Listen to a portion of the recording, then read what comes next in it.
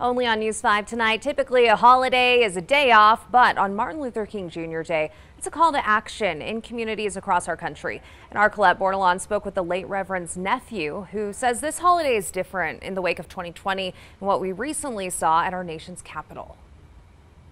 Wally says change can be messy more than 50 years since Reverend Dr. Martin Luther King's assassination. His nephew says his biggest message is strength through peace. Well, I don't know what will happen now. We've got some difficult days ahead. When words transcend decades. And he taught this country how to protest. The boundaries of time are broken. That's the greatness of America, the right to protest for rights.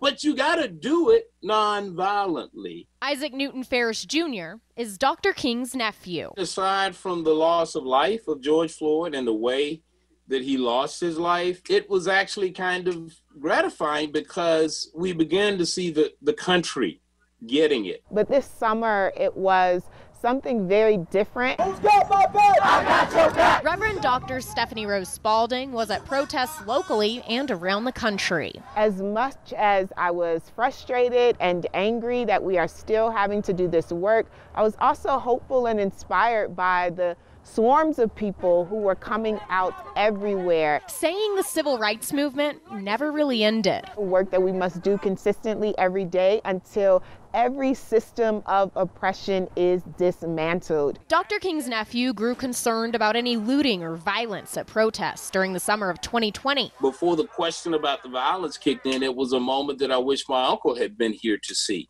And this year, they're honoring his uncle in a way they never have before. USA! In response to the riots at the U.S. Capitol. We can march on the Capitol. That's our house.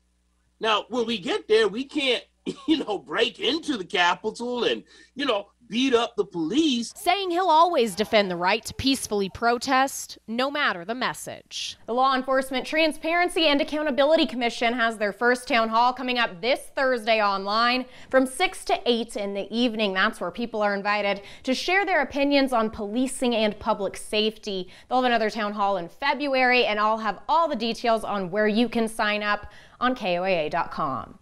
Always watching out for you, Colorado Springs. Colette Bordelon, News 5.